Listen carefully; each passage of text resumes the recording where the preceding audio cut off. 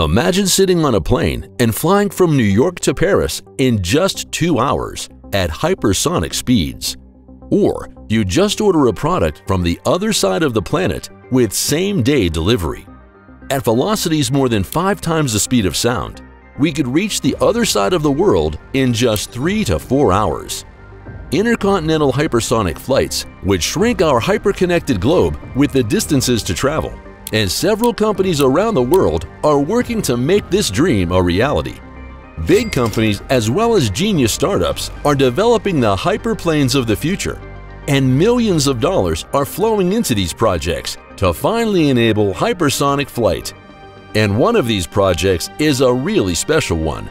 A Russian Elon Musk is the CEO and bets on cheap green hydrogen to make hypersonic flights sustainable and economical.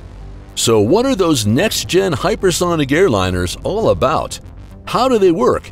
When can we expect hypersonic flights and can they really be affordable?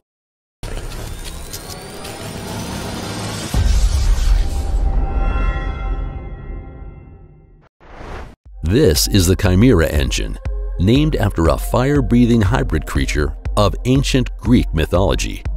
Just like the mythical beast, the engine is also a hybrid of a turbojet and a ramjet. By making its first successful mode transition, the engine passes a significant milestone to make operational hypersonic flights a reality.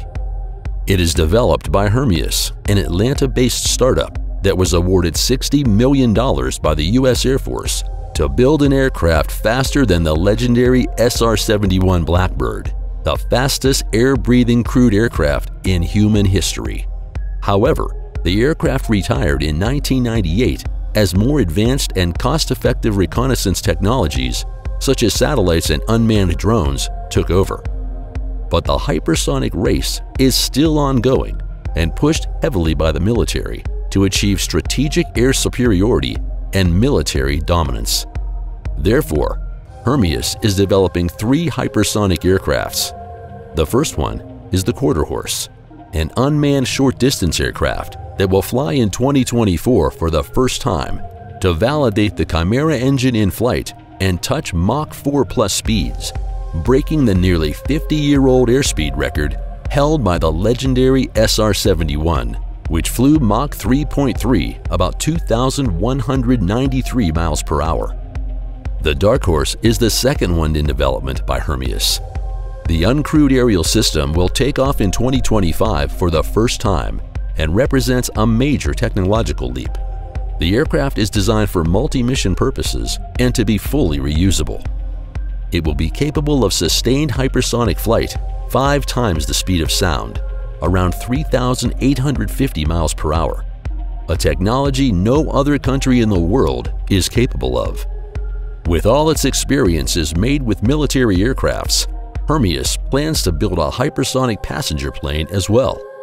The Halcyon, a 20-seater traveling five times faster than any commercial aircraft available today.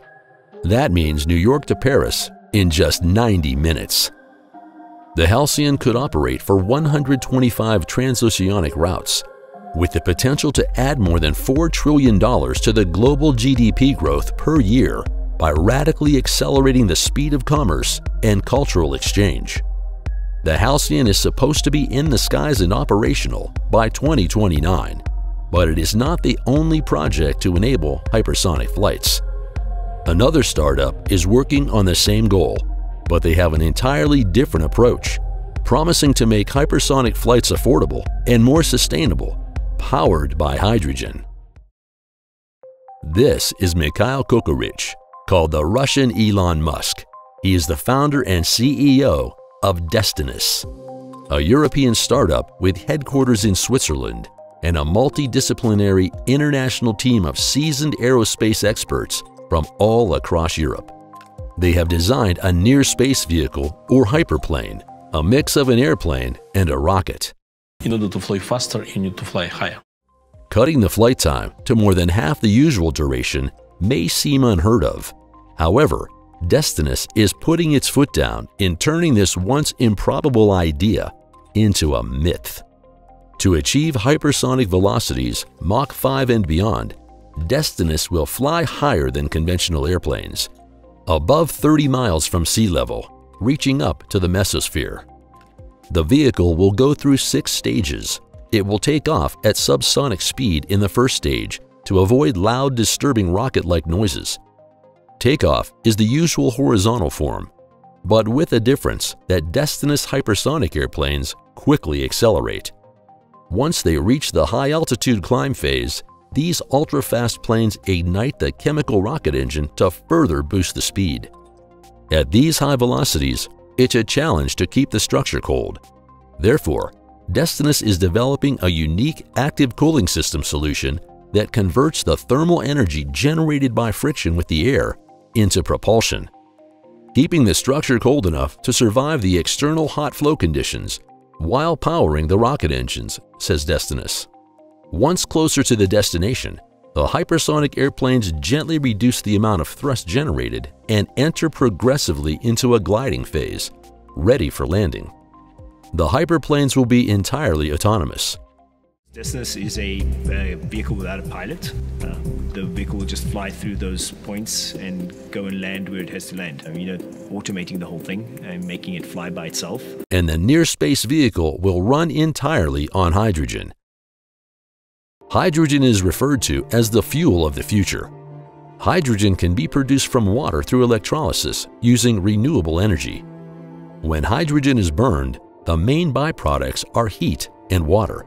And as the world is looking for alternative to fossil fuels, the cost to produce hydrogen will decrease with new innovations in time, which will help enable low-cost hypersonic flights. Beyond having zero carbon emissions, hydrogen has a much higher energy content per unit mass compared to kerosene. This means that engines are more fuel efficient when using hydrogen. It also has a short ignition delay, which means that combustion systems can be made less complicated than some kerosene afterburners. Because it is not the first time in history that faster flights and shorter distances are being sought. The Franco-British Concorde was the first commercial supersonic airliner that serviced the transatlantic route between the US and Europe. It reduced the flight time from New York to Paris from 7 to 3 hours. But traveling at supersonic speeds came at a price. After inflation, a ticket would cost about $12,000 today, so only royals and celebrities such as Queen Elizabeth, Michael Jackson, and Elton John could afford it, as well as wealthy business people. However, after almost three decades in service, the Concorde retired in 2003 because of rising maintenance costs, poor economics, and a declining interest after an accident that caused 133 fatalities.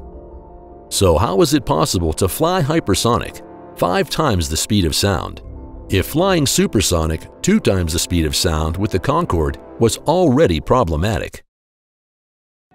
When flying beyond Mach 5, the heat generated by air and gas in the atmosphere is extremely hot and can have serious impact on the aircraft, where temperatures can reach anywhere between 2,000 to 3,000 degrees Celsius.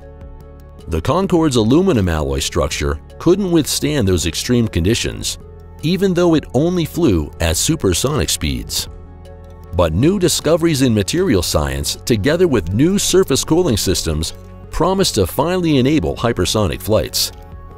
NASA has already developed a new alloy capable of withstanding extreme conditions and temperatures using 3D printing and computer modeling. So the development remains interesting and hypersonic planes could take off in the near future. What do you think about these projects? We think that Destinus and Hermeus are the most promising projects in the field of hypersonic flights. But big companies like Boeing are also researching the development of hypersonic planes. Subscribe to our channel and we will keep you updated on new innovations and breakthroughs in the ever faster developing world. In the meantime, watch how a new solar panel breakthrough can produce pure green hydrogen using only sunlight and air.